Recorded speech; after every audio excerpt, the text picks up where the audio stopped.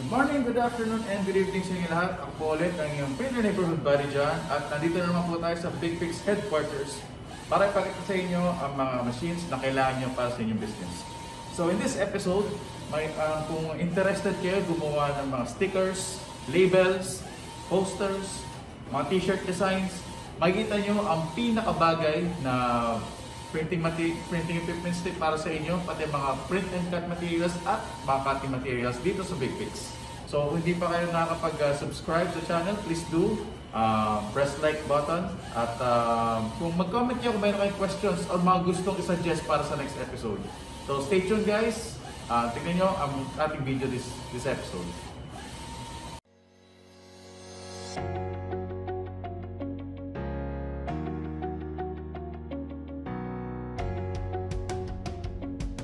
Uh, nandito si Sir Rayu. Um, may tatanong tayo tungkol sa kanya regarding sa printers na pwede natin gamitin sa, um, sa, sa starting businesses na katulad nito.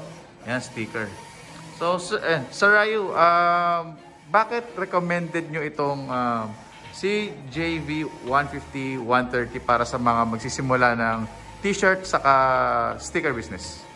Una-una, uh, yung machine natin kasi is uh, print and cut. Uh, printer na siya, at same time, cutter pa siya. So meaning, mas maliit yung space na magagamit natin para sa shop natin. Tapos yung machine natin is very flexible din. So pwede mo siyang gamitin as cutter lang, and pwede mo rin siyang gamitin as printer. Pagdating naman sa t-shirt, gagamit lang tayo nitong stars, materials natin, rubberized, And then ipiprint natin sa sa uh, Mimaking CGV 150. Okay. And then ipipress natin siya sa t-shirt. Ayan.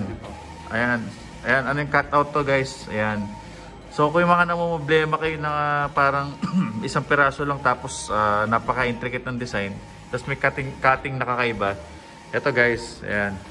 Yung uh, CJB 150 na series ang uh, suggested sa inyo.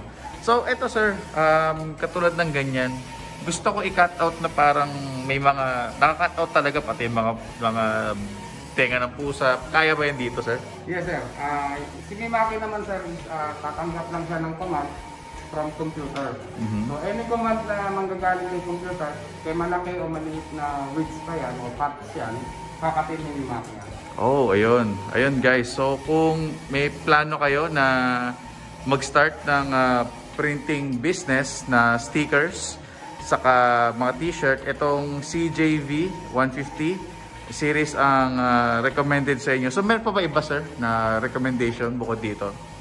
Actually sir, meron din kami isa, yung uh, JB 150 naman. Okay. Ah, ito, ito siya is printer alone lang siya. Okay. So kung gagamitin niyo naman siya as for uh, t-shirt, kakailanganin natin ng hiwalay na cutter. Ah, ideal siya para sa mga nagmamass production kasi si printer, print lang ng print. Pag natapos siya, dadalhin mo doon, kakatin mo siya. So, si, habang nagkakat ka, si printer, nagpiprint lang siya tuloy-tuloy. Okay, so ito printer lang to guys, pero highly recommended to para sa mga mass production. Kasi it lesser time, na, ma- mas nakapag-print ka ng marami, tapos eh, hindi ka na nag-aantay mag-cut. So saan ang cutter nito, Sir Sir Rayo? Ayun. Ayun. Dito daw ang cutter niya, guys. Ayan. Baby, ito yung cutter. Joke lang. Ayan. So ito yung, ito yung cutter niya, guys. At ano tawag dito, Sir Rayo? Ah, CG, CG 130 SR3.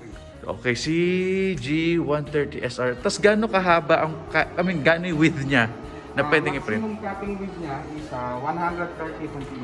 Wow, okay. So, yung pala ibig sabihin. so, yung pala 130, is- ah, 130 centimeter? Okay. Ano yun, isang rolyo na yun? Actually, sir, pwede natin siyang gamitin as roll. Meron siya dito na lagayan ng roll sa likod. Ayun. Na nilagay natin dito yung roll. Oh, meron guys, may nalagyan na ito na rolyo. And then magkakat na rin siya. So, so, ayun. So, so yun guys. So, partner sila ni JV 150. Ayun nandun. Ayan, yun nandun. Ayan, partner sila nito ni, ano to? CG130SR. So, maganda kung kukunin nyo either yung uh, 150 na nandun or itong dalawang to kung mass production kayo kung kailangan nyo ng mabilisan na trabaho kasi it's um, highly recommended na yung isa printing lang. Um, na- na-experience na tayo niyan sa, sa negosyo natin syempre. Gusto natin print lang ng print. Tapos yung isa naman yun nandun cut lang ng cut. So yun. Um, may iba pa ba kayong recommendation bukod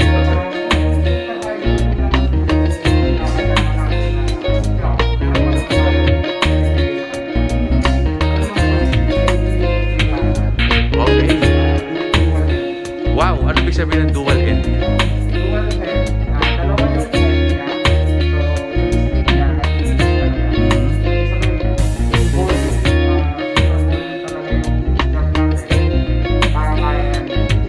Okay. Eh, pero ano to no? Um, ano siya? Ah, printer lang siya no? Tama ba? Okay, so pero mas mabilis to guys. Ayan. So kung naghahanap kayo ng, uh, kung, kung, lalo na ngayon, mga labels kayo tanggap, kailangan 1,000 a day, we have 3,000 a week. So, pwedeng pwede nyo consider to guys, itong Mimaki. So, ano po bang kaibahan ni Mimaki sa ibang, uh, sa ibang mga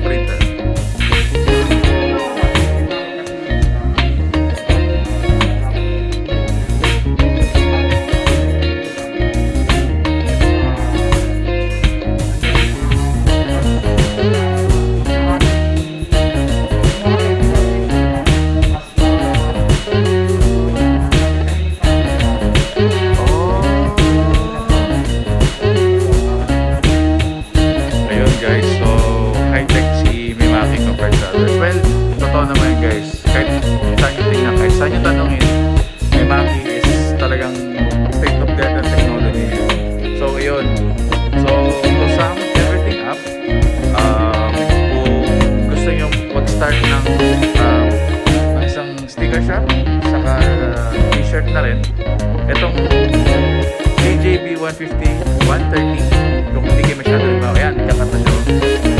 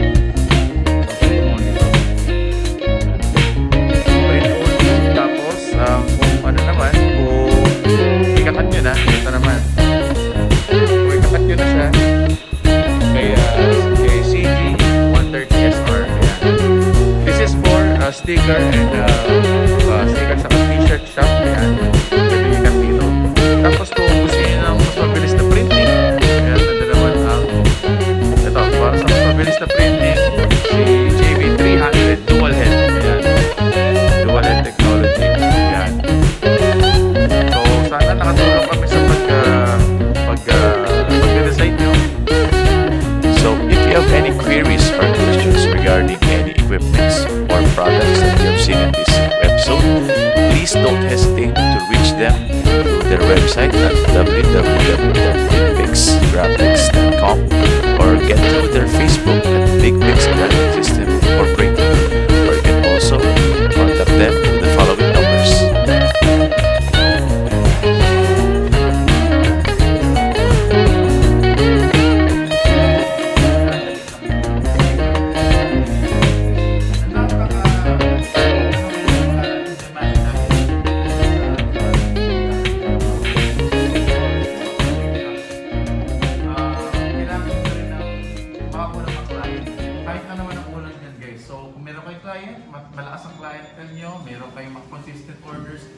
suggest you take a look and consider getting these equipments para mapagsimula at makapag-enhance pa kayo ng inyong uh, production. So sa mga katanungan nyo, kung meron kayong questions, I will leave um, the information below sa may description.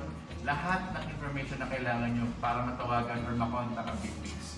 So again, This is your friendly neighborhood, John, speaking, and this is the Printer House where you begin the business of your dreams.